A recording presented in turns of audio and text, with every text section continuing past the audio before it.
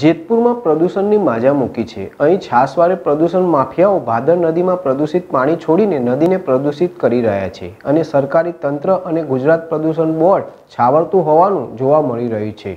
છસ્ત થયેલ ભાદર નદીને ફરીથી પ્રદૂષિત થઈ રહી છે અને સરકારી તંત્ર મૌન બેઠું છે.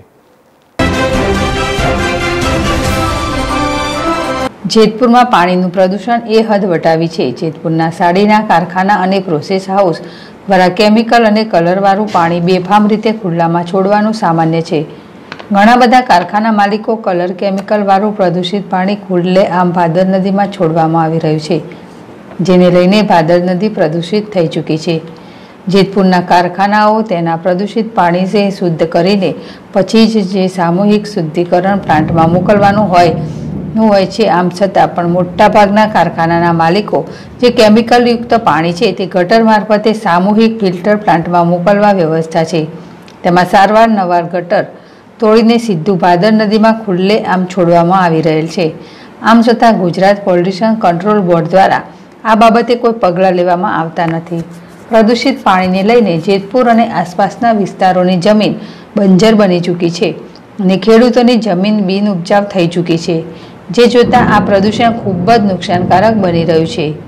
જેતપુરના થઈ રહેલા પ્રદૂષણને લઈને સામાજિક કાર્યકરો અને સંસ્થાઓ દ્વારા લડત અને અનેક રજૂઆત પણ કરવામાં આવી છે.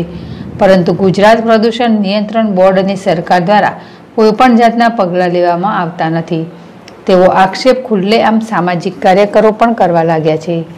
જેતપુરના સાડીના કારખાનામાંથી નીકળતું પ્રદૂષિત પાણી હાલની વ્યવસ્થા મુજબ ગટર દ્વારા સામૂહિક ફિલ્ટર પ્લાન્ટ સુધી લઈ જવાનું હતું.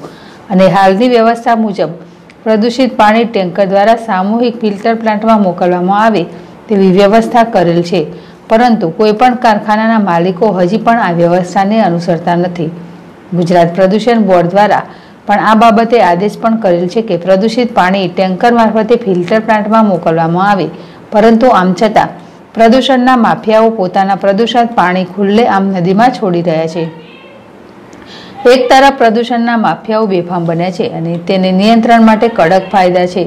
આમ છતાં પણ પ્રદૂષણ નિયંત્રણ થતું નથી. ત્યારે એક વાત ચોક્કસ છે કે સરકારની મીઠી નજર સિવાય પ્રદૂષણના પાપી આ બેફામ બેફામ બન્યા છે. ત્યારે જેતપુર અને તેના આસપાસની પ્રજા માટે સરકાર જાગૃત થાય અને આ પ્રદૂષણ માફિયા ઉપર કડક કાર્યવાહી કરે તે જરૂરી છે.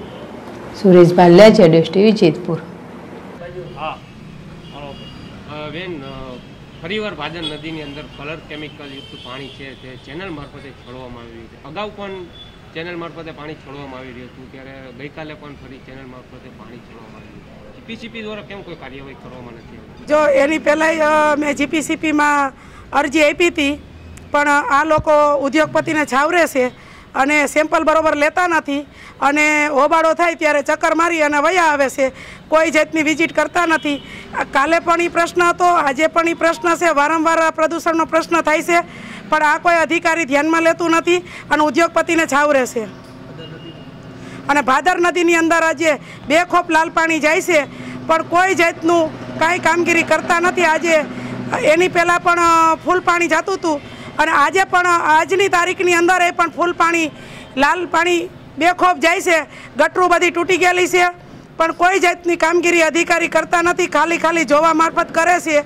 જો અધિકારી ધ્યાનથી આ કામગીરી કરે, તો આ પોલ્યુશનનો અને પાણીનો પ્રશ્ન જ ન રહે. પણ અધિકારી કોઈ કરતા જ નથી, એના ગીસા ભરે જ છે. ખેડૂતોની જમીન છે, ત્યાં પાણી તે સિંચાઈ માટે લેતા હોય છે અને લોકોને પણ પીવાનું પાણી મળતું હોય છે. તો આ બે ઉપર કેટલું જોખમ?